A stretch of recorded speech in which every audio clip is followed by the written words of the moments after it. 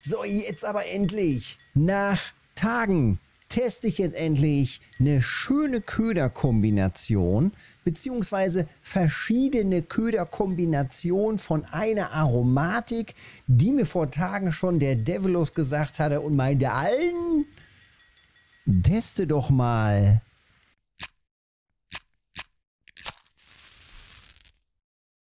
Pfirsich, hat er gesagt. Pfirsich. Auf Karpfen. Schön Pfirsich. Und weil es ja vom Pfirsich so vieles gibt, mh, mm, wobei es gibt, naja, es gibt so milchigen Pfirsich und würzigen Pfirsich und solche Sachen. Und jetzt wird es einfach mal Zeit. Jetzt muss ich auch einfach mal testen. Also, verschiedene Kombinationen auf den drei verschiedenen Routen mit Pfirsich oder mit Pfirsich, also würziger Pfirsich plus Gewürz. Gucken wir uns alles gleich im Detail an, was denn da so geht und wie das denn so geht. Ähm, ziemlich mieses Wetter gerade. Ich hoffe, es wird gleich noch ein bisschen angenehmer und nicht ganz so, nicht ganz so mies. Die ganze Zeit Regen, Dauerregen hier. Ich glaube, da geht auch schon mehr. Wobei der erste Test, die, ersten, die erste halbe Stunde sozusagen, es fängt sofort gut an. Erster Fisch, direkt mal einen Geister Schuppenkarpfen. Ja, und eine Trophy war auch schon mit dabei. Von daher ist das doch gar nicht so verkehrt. Also bisher schon ganz okay. Geisterschuppenkarpfen auf Köderkombination würziger Pfirsich 20 Soluble mit Gewürzmischung. Spiegelkarpfen Trophy, Pfirsich und Kräuter Pop-Up und Gewürzmais Pop-Up. Mal wieder was ganz anderes.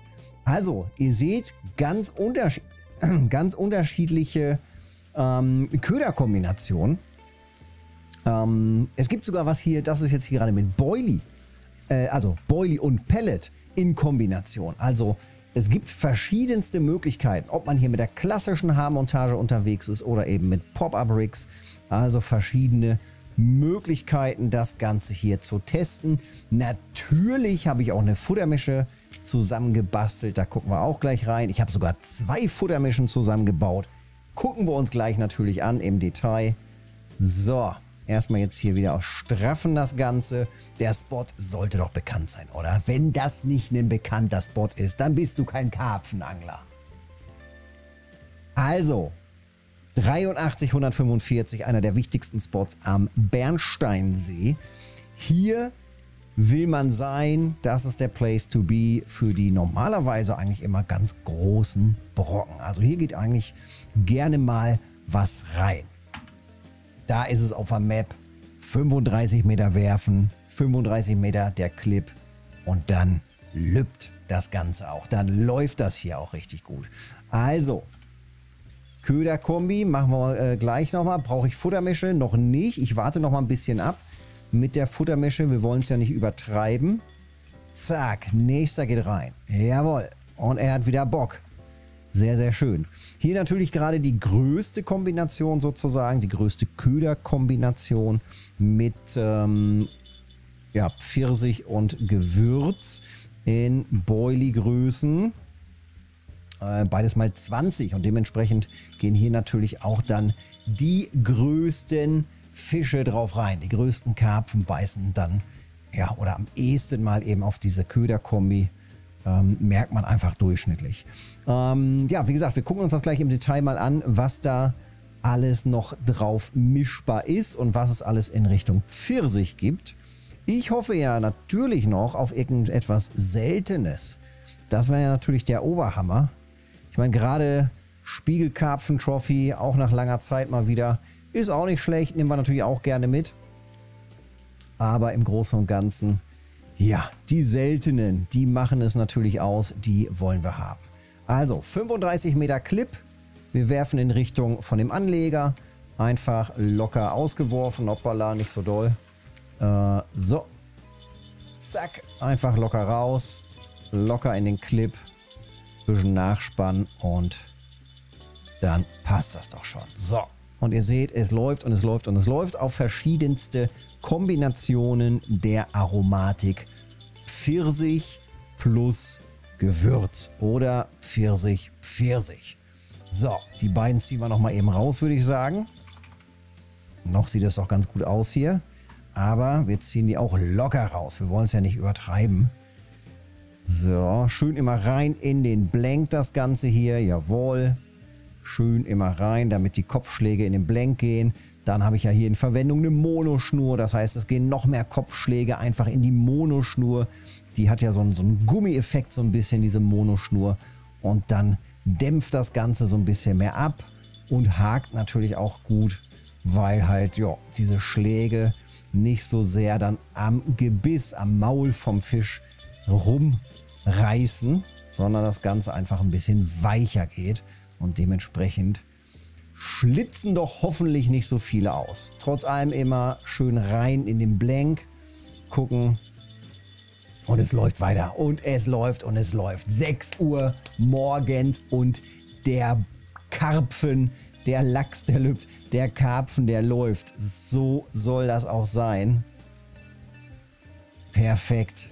So, jetzt gib Gas. Ich will noch hier die Köderkummis zeigen. Ähm, ich glaube, hier oben sieht man es auch schon so ein bisschen. Das ist hier jetzt gerade die Kombination äh, Pop-Up Rigs, die Basic Pop-Up Rigs, also ganz normal mit Boilie und Maiskorn. So, komm mal ran hier. Ich glaube, der nächste Spiegler. So, komm, komm, komm, komm, komm. Schön locker rein hier, jawohl.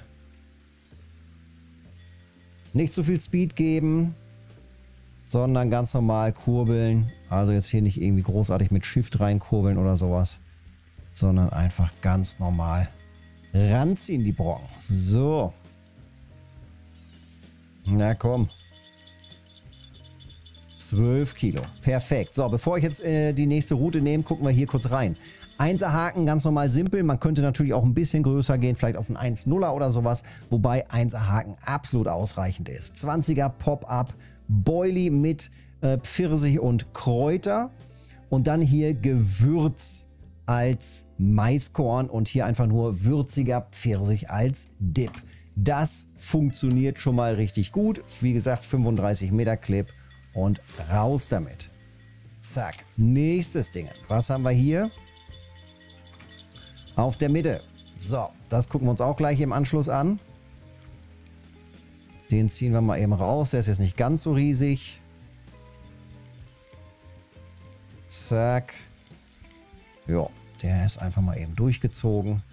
Und hier haben wir die Kombination mit, auch wieder Einser Haken, würziger Pfirsich 20 auflösend und Boilie Gewürzmischung 20. Also das in Kombination, weil wir ja würziger, also Gewürz Pfirsich, würziger Pfirsich, deswegen nehmen wir auch Gewürz mit dazu und würziger Pfirsich als Dip. Ähm, und deswegen passt das halt eben nochmal ganz gut dazu, dass wir eben auch Gewürze als Köder nehmen. So, raus damit wieder. 35 Meter natürlich. Und auf der 3, zack, auch wieder auflösend. Das hier ist jetzt nochmal ganz die, äh, ja, die Basic, die klassische Haarmontage haben wir hier. Oha, da ist aber ein kleiner bei. Kriegen wir das gleich vielleicht noch ein bisschen verändert. Wir gucken noch mal eben rein. Hier haben wir eine Kombination gerade aus 18er Pellet. Und da gucken wir gerade noch mal. Haben wir denn hier Pfirsich? Ne, wir haben nur die 18er. 8er, 4er, 18er. Aber eben hier noch äh, würziger Pfirsich wieder soluble. Wir kriegen ja bei der klassischen Haarmontage eben auch hier die auflösenden Boilies hin. Das Ganze natürlich wieder in Kombination mit äh, Würzing Pfirsich als Dip. Und jetzt gucken wir gerade noch mal rein. Wir nehmen schon mal eine Futtermische wieder mit rein. Ähm, ich habe bisher 5, 6, 7, 8. Ich habe 8 mal Futtermische ausgeworfen. Nehmen wir das noch mal. 35 Meter, jawohl. Jetzt haben wir hier 10 mal Futtermische drin, also 20 Bällchen oder 200 Gramm egal wie man das halt auswirft. Insgesamt sind es jetzt 200 Gramm Futter an dem Spot. Hm, ich denke mal so in den Morgenstunden kann man das einfach nochmal wieder ein bisschen nachfüttern und dann werde ich vielleicht, ich werfe gleich noch einmal PVA nach und dann aber erst wieder gegen 16 Uhr nachfüttern. Ja, wenn wir also reingucken, was haben wir denn bei dem ganzen Pfirsich? Hier sehen wir alle Kombinationen, alle Möglichkeiten. Man kann natürlich auch sowas hier mal machen. Mit dem milchigen Pfirsich, warum nicht? Auch vielleicht einfach mal mit reinmischen. Oder eben hier Pfirsich und Kräuter. Das haben wir dabei. Hier würde es sogar gehen, ähm, Pfirsich und Kräuter. Ähm, nicht als Pop-up, wenn ich das als sinkend nehme, sinkende Boilies, könnte ich hier einen 20er oder 25er sogar nehmen. Pop-up Boilie 25, doch gibt es hier auch noch. Wo hatte ich den gerade? Ach so, bei den Pellets. Da waren das nur die kleinen. Aber ansonsten könnten wir hier sogar noch deutlich größer reingehen, die Frequenz nach unten drücken, aber dafür vielleicht die Chance auf eine Trophy erhöhen. Ähm, würziger Pfirsich sonst nochmal und Würz, würziger Pfirsich Soluble. Auch hier natürlich die Möglichkeit, einen Snowman Rig zu machen. Einmal ein sinkender Boilie mit einem aufsteigenden Boilie. Schon hätte man hier einen Snowman Rig oder eben ganz normal, ganz klassisch hier mit ähm, Pop-Up Rigs dann eben auch hier mit äh, fluoreszierendem oder eben hier milchiger Pfirsichgelb. Also hier gibt es ganz viele Maiskörner auch nochmal.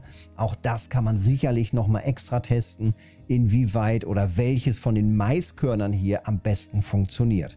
Ähm, auch hier von der Futtermische, da gibt es auch nochmal eine ganz schöne Palette. Also wir können hier einfach alle Größen, Vierer, Achter und dann hier den 12er Pellet nehmen. 1, 2, 3, da haben wir hier schon mal die Futtermische zusammen. Dann haben wir hier nochmal zwei Variationen. Wir könnten natürlich einmal Karamell, also süßliche Pfirsich ähm, nehmen für die Futtermische. Oder wir nehmen für das Futter dann auch noch Gewürz, weil wir sind ja mit Gewürz und würzigen Pfirsich unterwegs. unterwegs. Und äh, dementsprechend habe ich dann auch die Futtermische halt angebaut oder zusammengebaut. Ähm, würzige Mische. Wir gucken mal eben rein. Das hier ist Roggenkleie als Basis mit den ganzen Feed Pellets plus würzige Futterpellets. Die gibt es dann auch eben nochmal extra oder würzige Futterpellets und dann Gewürz. Und das andere, die andere Kombination ist dann eben das gleiche, alles nochmal genauso, aber eben als Aroma nochmal Karamellpfirsich. Also einmal Aroma Karamellpfirsich, einmal als Aroma Gewürze. Und das sind die beiden Futtermischen. Beide Futtermischen habe ich drin.